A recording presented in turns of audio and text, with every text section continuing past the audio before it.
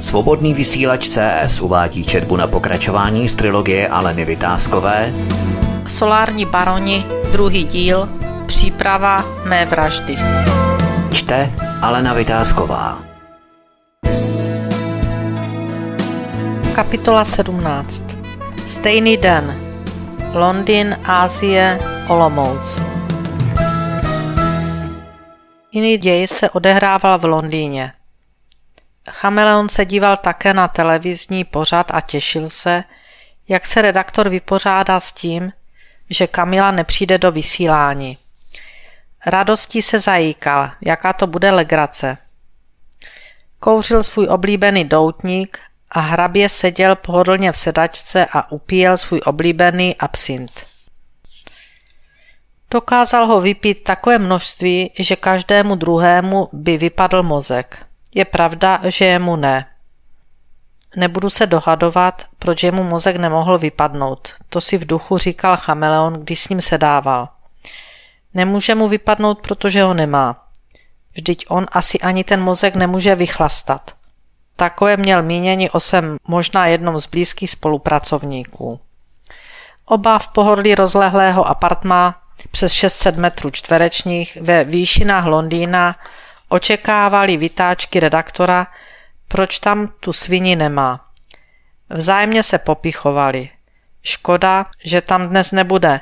Mohla to být pěkná sranda, až se bude vytáčet, že s těmi elektrárnami nic nemá společného, že tam nebyla, když dostali licence, že existuje nějaký správní řád a tak dále.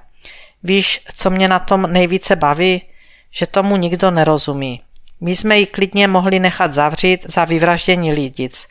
Možná, že by si nikdo také nevšiml, že se narodila deset let po válce.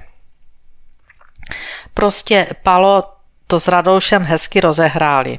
Budeme je muset povýšit. Nezapomeň ale na křivého. To je jeho scénář.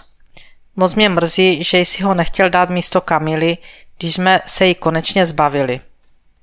Poslouchej, Zásluhy má obrovské, ale opatrnosti nikdy není dost.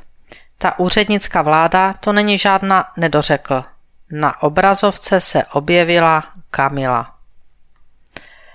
Chameleon škytl, popel z doutníku mu spadl na koberec, za který byste tam u nás doma koupili malý rodinný domek. I se zahrádkou. Hrabě zbrunátněl. Co to kurva je? Co to je za chujovinu? Kdo mě to zase chce nasrat? Vyhrkl ze sebe a vůbec nic nehrál.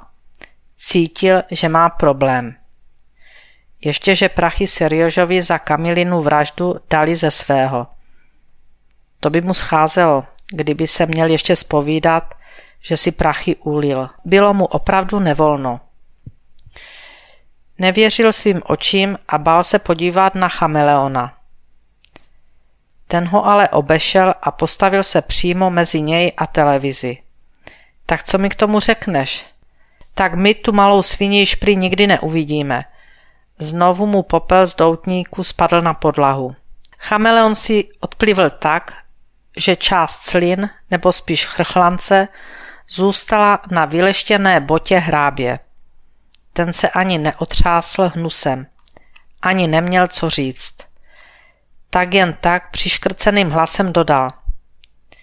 Nikdy jsem neříkal malá svině, jak vidíš, je to velká svině. Ani nevěděl, co říká, jak byl otřesen skutečností, že Kamila žije. V duchu si přeříkával, co jim vše Serioža řekl. Kam mu mají poslat poslední díl platby, prostě mu to nesedělo. Serioža Sergej, nebo jak se ten smrt doopravdy jmenuje, je to hajzl, koho na něj pošle. Serioža si z něj udělal srandu, nebo něco zdrbal, anebo ho prodal. Musí domů, musí domů a to rychle. Byl jako v tranzu, když poslouchal rozhovor Kamily a jako zdáli zaslechl jméno Rony a Richie. Škubl sebou, jako by se probral ze snu. Co to říkala? zeptal se chameleona, který již také pozorně poslouchal, co Kamila Nora žvaní. Nic důležitého, jen začala jmenovat ty tvoje debily a bude je asi jmenovat dál. To je fakt, den plný fekálí. Snažil se inteligentně hovořit o pilí chameleon, který v průběhu televizního vystoupení vyžáhl láhev whisky. Hrábě byl stále ve větší depresi. Co když je Sergej udal? Co když si všechno nahrával? Co když už jsou u něj doma chlupaty? Tak to poslední vyloučil. To již by mu informátoři dávno volali, že se něco chystá, pokud by si pro něj nepřišli sami. A tudíž by vše vyřídili doma v kuchyni. Ale co když to řeší traktorista? To by jeho informátoři nemuseli nic vědět. Znovu se mu zatmělo před očima. Co když Sergej pracuje s druhou skupinou? Fuj, to by snad neudělal. Boha jeho. A co to vlastně žvanili Rony a Richie ten večer, ten osudný večer, kdy přišli do hospody a něco mlátili, že pomáhali Seriožovi. Že by chtěli také odměny. Ty dvě hovada něco vědí. Určitě něco vědí a budou vydírat. Musím domů, musím domů. Odcházel jako náměsíčný, v tranzu a bez rozloučení. Chameleon byl vzteky bez sebe. Obával se, že může být jeho nová vláda v ohrožení a to by se mu značně nehodilo. Měl rozsáhlé plány na další tunelování této země.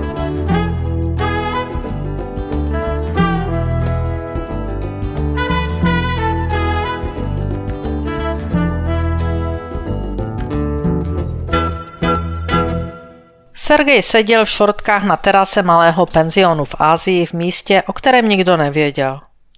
Upíjel sangriu přímo z lahve, která byla v takovém malovaném termoobalu, aby v tom vedru vydrželo pivo co nejdéle studené. Kouřil a hleděl na internet.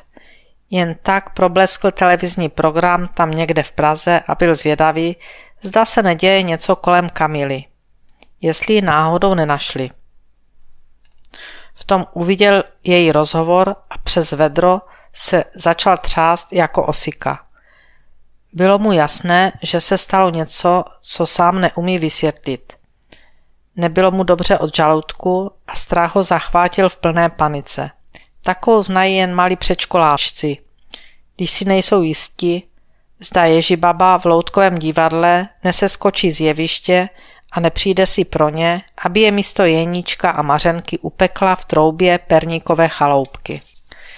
V duchu si jen pro sebe řekl, že udělal dobře, když za sebou zametal stopy. To, co viděl v televizi, ho rozhodně nepotěšilo. Cítil se ohrožen a absolutní změna jeho trasy, když opouštěl Prahu, byla to nejlepší, co se mu v jeho životě povedlo – jen si nedokázal vysvětlit, co se vlastně děje. Také nemínil potom pátrat. Pro jistotu se rozhodl o opětovnou změnu destinace. Nedokázal si vůbec vysvětlit, jak je možné, že Kamila vystupuje v televizi, je zdravá, bez jakýchkoliv následků. Kdyby práci neprovedl sám a tak pečlivě, jak si byl jíst. Jak je možné, že žije? Tady se něco děje, co se svým zabijáckým mozkem nemohl vstřebat. Bylo to hrozné. Nedokázal si představit, kdyby jej dopadla parta od lopaty. Fuj, odplivl si. Pivo mu přestalo chutnat. Opakovaně si pouštěl všechny záznamy z posledních dnů, které kolem Kamily v médiích proběhly. Věděl, že se nemůže ani nikoho tam někde v Praze zeptat, co se děje.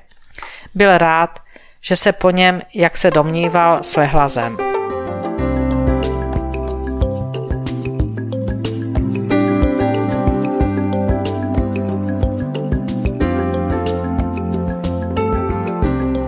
Lopata, hrábě, Ron a Richie seděli téměř ve stejnou dobu, ale na jiném konci světa v noci Rony a Richie přísahali, že nevědí nic o tom, že by Kamila chtěla utéct.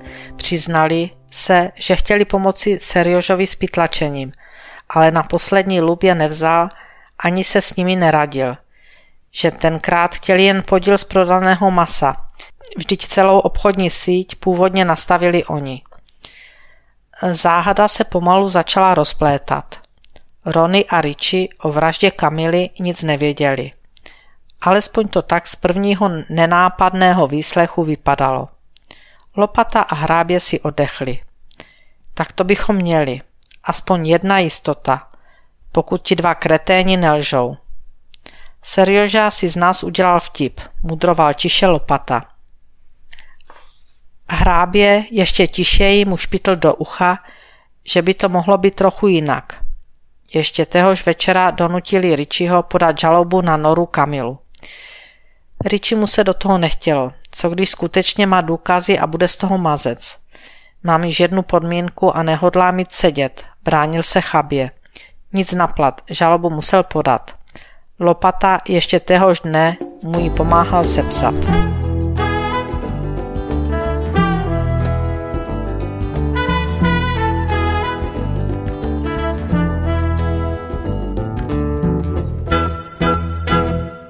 Ellis s Norbertem v Praze hodnotili komplexní dopad dnešního televizního vystoupení Kamily Nory.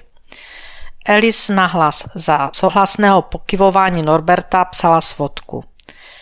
Na různých místech světa se odehrála scéna, která měla jiné diváky, jiné posluchače, jiné aktéry, jiný pohled na danou věc.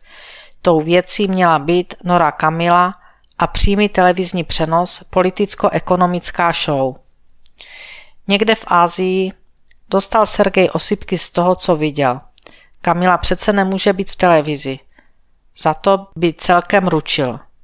Nehodlal ani nic vysvětlovat, ani čekat na to, že bude muset někomu něco vysvětlovat. Věděl, že takové vysvětlování, jak je možné, že žije, nikdo nebude chtít ani slyšet. Věděl, že mu jde o život. Někde v Londýně chameleon a hrabě přestali zcela důvěřovat svému okolí. Považovali další loupeže za bílého dne, jak s úsměvem říkali svým projektům do veřejných financí, za velmi ohrožené. Celý plán se hroutil a pedofil, který měl nastoupit po zmizelé Kamile, jim byl k ničemu. Ona se vylepí na obrazovku, místo aby někde plakala, jak má těžký osud, pokud mohla mrtvola plakat. Gauneři, lopata modrooký, velká kapsa, míla autista, kvído a další. V kvídově klubu ztratili řeč a místo slavnostního oběda na oslavu zmizelé Kamily cítí potupu, zmar, bezradnost, úzkost, podraz, nehorázný šlendrián, výsměch, bolest a někteří i strach. Někdo z nich je podrazák, někdo z nich ví víc, než jim sděluje. Někdo z nich to sní peče nebo s někým jiným. Někdo z nich shrábl prachy za její odstranění, někdo z nich je zrádce vrah lhář. Rony a Riči, nic netušící patlalové, si popíjeli své pivo v tílku a trenkách a vůbec netušili, že jsou v podezření, že vědí o zadání vraždy a jejím nedokonání, že jsou se Sergejem v nějakém kontaktu. Ani jeden z nich netušil, že je čeká ještě křížový výslech. Televizní diváci nepoznali, že Nora není Kamila, její rodina to nepoznala, proč by to měli poznat cizí lidé. Nora odvedla bezvadnou práci, jak hodnotil dokonce Artur i celá centrála. Marcus Tullius Cicero Dokud žiješ, je třeba doufat.